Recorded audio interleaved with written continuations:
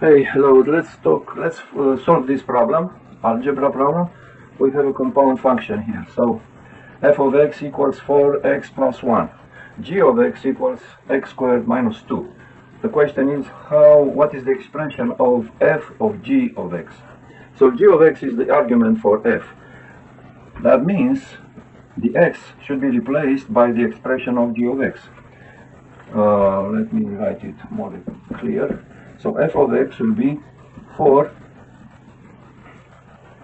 Uh, okay, instead of x, we'll have g of x, which is x squared minus 2 plus 1. Okay, so let's see how much is this.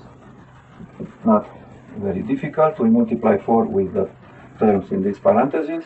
That will be 4x squared, and here minus 8 plus 1.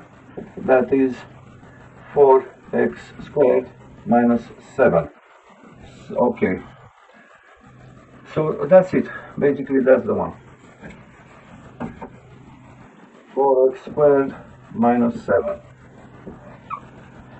Not uh, difficult at all. Thanks.